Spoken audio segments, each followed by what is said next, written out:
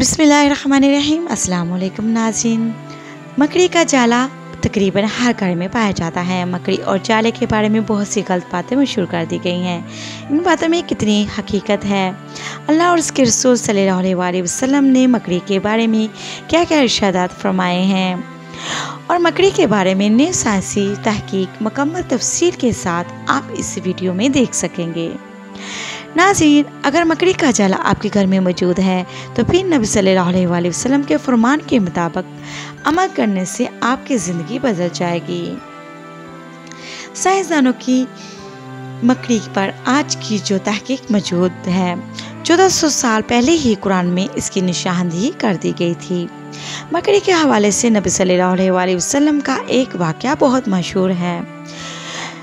کہ جب آپ صلی اللہ علیہ وآلہ وسلم پر کفار مکہ کا ظلم ستم پڑا اور کفار نے نبی صلی اللہ علیہ وآلہ وسلم کو معاذ اللہ قتل کرنے کی کوشش کی، تو اللہ کے حکم سے نبی صلی اللہ علیہ وآلہ وسلم نے حضرت ابو بکر صدیق کے ساتھ مکہ سے ہجرت فرمائی۔ نبی صلی اللہ علیہ وسلم نے حضرت علی رضی اللہ عنہ کو بستر پر لٹا کر کشان اکثر سے نکل پڑے۔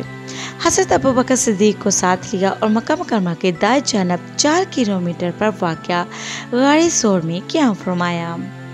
کفار آپ کا پیچھا کرتے ہوئے غار سور تک پہنچے، لیکن اللہ تعالیٰ نے انہیں محفوظ رکھا۔ اس کے بارے میں سورہ توبہ میں اللہ یوں فرماتا ہے۔ بے شک اللہ نے ان کی مدد فرمائی۔ جب کافروں کی شراط سے انہیں خبر کیا صرف دو جان سے جب وہ دونوں غار میں تھے، جب اپنے یاد سے فرماتے تھے، غم نہ کا بے شک اللہ ہمارے ساتھ ہے، تو اللہ نے ان پر اپنا اطمینان اتارا۔ کفار سے حفاظت کے لیے اللہ تعالیٰ نے غار کے پاس ام کلام نامی درخت اگا دیا۔ غار کے پاس ہی دو کبوتروں نے گھونسلہ بنا دیا اور مکڑی نے جالا بن دیا۔ آپ صلی اللہ علیہ وسلم نے غار سون میں تین دن قیام کرنے کے بعد مدینہ منورہ روانہ ہو گئے۔ مام دہلی رحمۃ اللہ علیہ نے اس حدیث کو نقل کیا ہے کہ مکڑی نے جب غار سور پر جالا بنا تو اسے عزت مل گئی اور رسول اللہ صلی اللہ علیہ وآلہ وسلم اس سے محبت کرنے لگے۔ امام دہلی رحمۃ اللہ علیہ نے فرمایا، رسول اللہ صلی اللہ علیہ وسلم نے فرمایا، انا ہی بوہا، مجھے مکڑی سے محبت ہے۔ آگے جتنے بھی راوی مسلسل آتے گئے، سب نے کہا کہ انا ہی بوہا۔ اس لیے ہم بھی مکڑی سے اسی وجہ سے محبت کرتے ہیں۔ ناظرین اکرام، تاہم مکڑی کے جالوں کے بارے میں مختلف روایات موجود ہیں۔ کچھ علماء کرام سے جب سوال ہوا، کیا مکڑی کا جالا نحوست کی علامت ہے؟ تو انہوں نے جواب دیا کہ ایسی چیزوں کے بارے میں عقیدہ رکھنا شرک ہے۔ کیونکہ نبی کریم صلی اللہ علیہ وآلہ وسلم کی حدیث مبارکہ ہے، سیدنا عبداللہ بن مسعود رضی اللہ عنہ فرماتے ہیں، چیزوں کے بارے میں نیک شگونی یا بد شگونی لینا شرک ہے۔ یہ حدیث سنن ابودود میں تین ہزار نو سو دس پر تحریر ہے۔ ایسے ہی جابر بن عبداللہ رضی اللہ عنہ کی حدیث صحیح مسلم میں آتی ہے۔ جس کے الفاظ ہیں، نبی کریم صلی اللہ علیہ وسلم نے فرمایا، کوئی بیماری وہ خود سے اپنی صلاحیت کی بنیاد پہ معتدی نہیں ہوتی اور نہ کوئی نصوصت ہوتی ہے۔ تو جب دین اسلام نے ان چیزوں میں نحست نہیں نکالی تو ہم کون ہوتے ہیں ایسا کرنے والے؟ اس مکڑی کو مارنا نحوست کہنا بالکل غلط ہے۔ تاہم، آپ لوگوں نے بچپن میں سنا ہوگا گھر میں جالے نہیں ہونے چاہیے، یہ نحوست کی علامت ہے۔ اس کی بھی ایک وجہ ہے۔ اسلامی نظریہ ہو یا سائنسی نظریہ، ان سب کے مطابق گھر میں جالے بالکل نہیں ہونے چاہیے۔ پتہ ہے کیوں نہیں ہونے چاہیے؟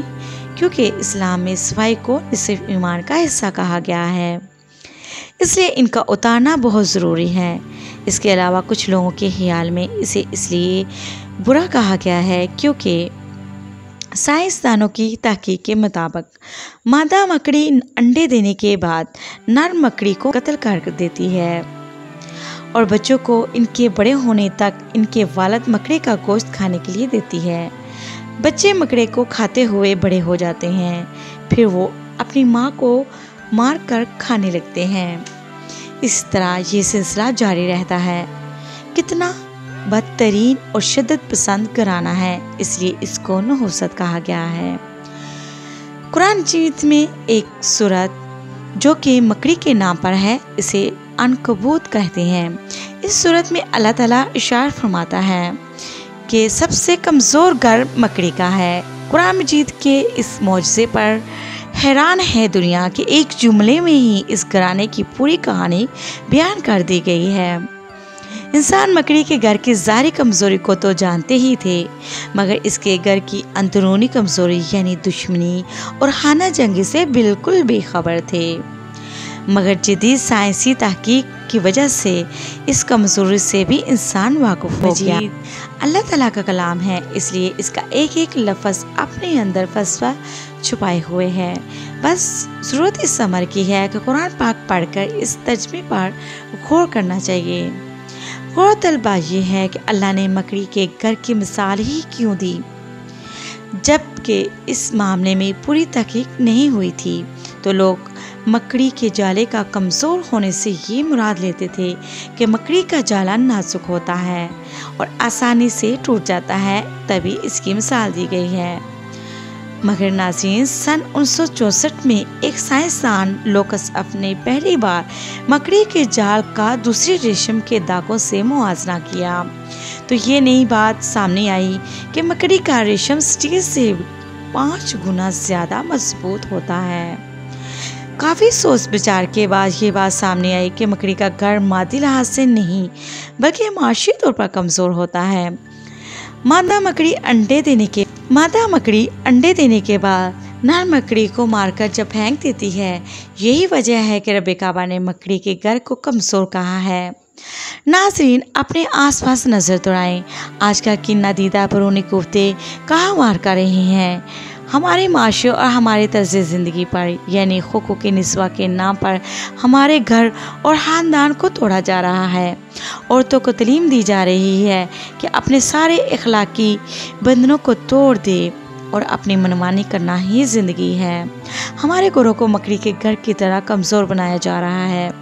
حضرت امام علی رضی اللہ تعالیٰ عنہ فرماتے ہیں، علم تمہیں راہ دکھاتا ہے اور عمل تمہیں مقصد تک پہنچاتا ہے۔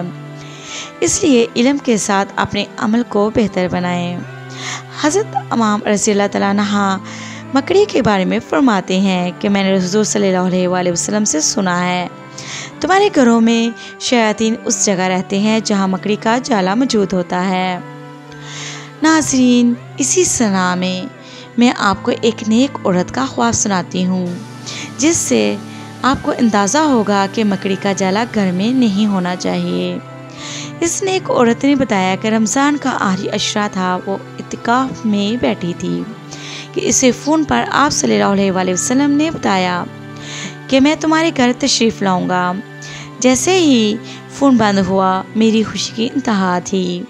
میں انتظار کرنے لگی، مگر آپ صلی اللہ علیہ وآلہ وسلم کی بجائے ان کی ازواج جو کہ چار سے پانچ تک ہوں گی، وہ آئیں۔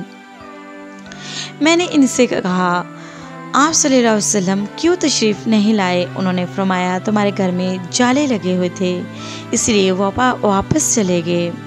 جب میں خواب سے بیدار ہوئی تو واقع ہی مکڑی کے جالے کمرے میں لگے ہوئے تھے۔ ناصرین کرام آپ اس بات سے اندازہ لگائیں کہ پیارے نبی صلی اللہ علیہ وآلہ وسلم کو صفائی کس حد تک پسند فرم آئی۔ اس لیے ہمیں صفائی اور خصوصی طور پر جالوں کی صفائی کا خصوصی ہے گا اس ویڈیو کو سواب کی نیت سے شیئر کریں اور بہادر چینل کو سبسکرائب کریں۔ شکریہ۔